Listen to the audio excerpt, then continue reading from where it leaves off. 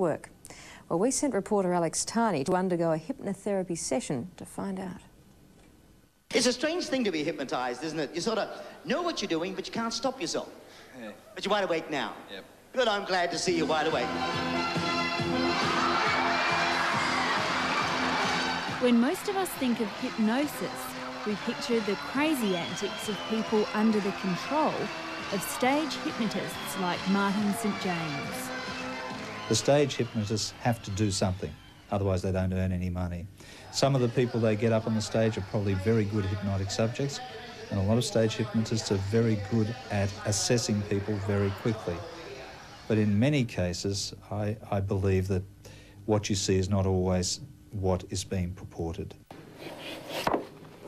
Unlike Martin St James, clinical hypnotherapist Dr Leonard Rose doesn't ask his patients to embarrass themselves while under hypnosis. He uses the process to help control pain and to treat conditions including asthma, anxiety and migraine. In most cases, when we do hypnosis therapeutically, it's a very boring process. Nothing seems to be happening because it's all happening within the person who's being hypnotized. Close your eyes. Start to focus on your breathing. To experience it for myself, I asked Dr Rose to put me muscles of your under hypnosis. The fingers starting to move. Sorry. Do I have to like really want to sort of make it move or does it... Well, it's Sorry. up to it's up to look, it's Mhm. entirely up to you. After three unsuccessful attempts, eventually I was able to experience a light hypnosis, although I wasn't able to respond to suggestions. Let suggestions. yourself go deeper and deeper into relaxation. Under hypnosis, I felt extremely relaxed, as though I was floating. Most people will know when they come out of a hypnotic state or a hypnotic experience that they have been hypnotized because it's not simply a question of at the end of the session you open your eyes and you're bright eyed and bushy tailed and ready for anything. In most cases, a person takes a little while to sort of settle back. They sort of, they're somewhere else for a while. So, Alex, in a short time, at a time of your own choice, you're going to bring yourself back to a normal state of alertness, all sensations and feelings back to normal. Your normal sense of time and place returns.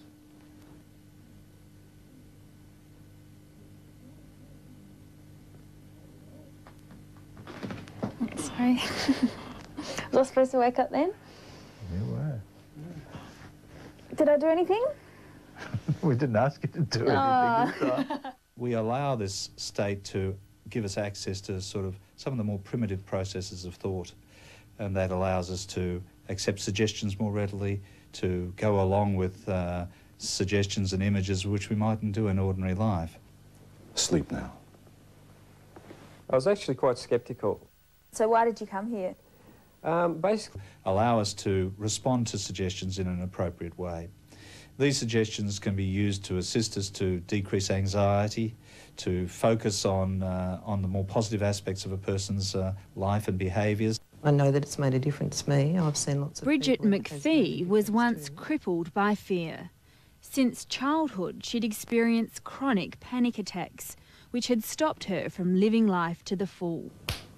After just three sessions of hypnosis, Bridget's panic attacks have disappeared. It just gave me back control of my, my reactions and my thoughts and my feelings. And as this hand falls, you go five times deeper.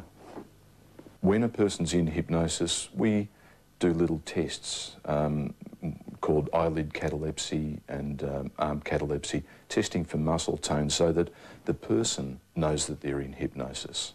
I know that they're in hypnosis, but they need to prove it to themselves by uh, simply being unable to open their eyes.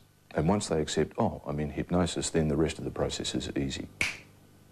Panic attacks behind her, Bridget now hopes hypnosis will conquer her fear of public fear. speaking.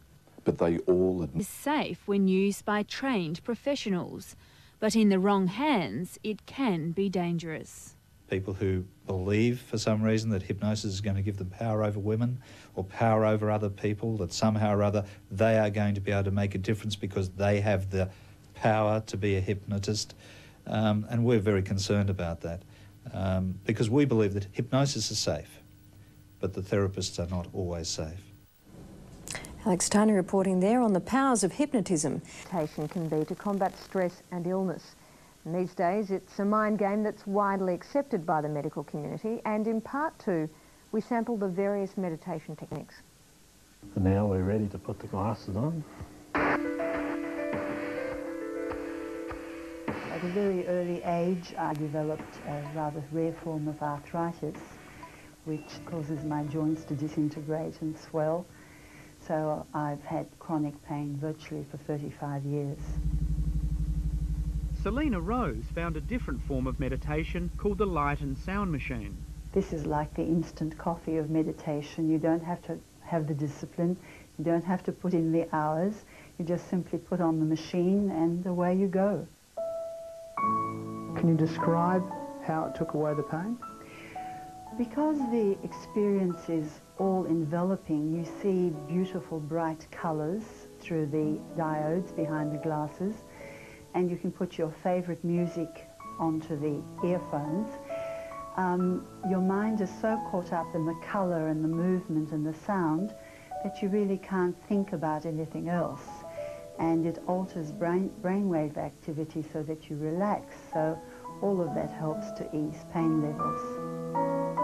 What the glasses do is that they simulate the natural brain activity.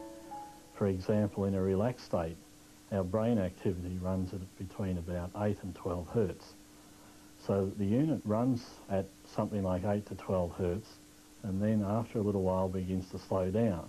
So it slows you down? And that slows us down, brings us down into a nice relaxed state. Noel Weaver is a psychologist at a pain management clinic. He says the light and sound machine can help people with a number of different illnesses. People who are, are suffering anxiety and may have tried other forms of relaxation and haven't been able to, to get much success often find that the sound and light can um, be just the thing they're looking for. This is a very pleasant way to um, give myself some pain-free time. I had breast cancer. Hypnotism, it's far more than the ability to make people strut around on stage doing outrageous things. The powers